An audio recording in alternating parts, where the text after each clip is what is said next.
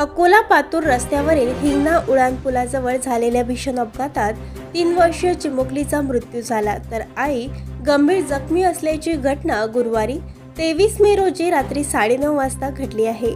पोलिसांनी दिलेल्या माहितीनुसार चांदूर खडकी येथील रहिवासी नितीन देवलाल वाघमारे हे गावाजवळ असलेल्या शेतातून घरी परतत होते. त्यांच्यासोबत त्यांची पत्नी शुभांगी आणि तीन वर्षाची मुलगी समृद्धी होती.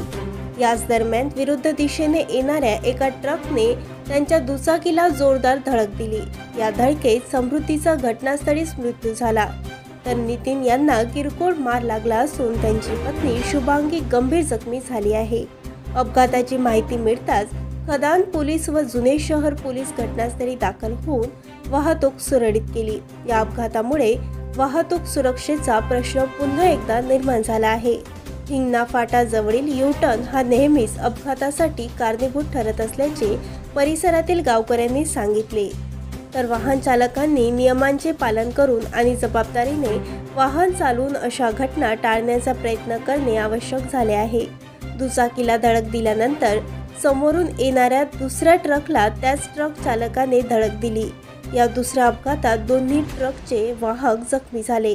दोन्ही ट्रक चालक दुचाकी स्वार व त्यांची पत्नी यांना रुग्णालयात दाखल करण्यात आले आहे. या प्रकरणी जुने शहर पोलीस पुढील तपास करीत आहे.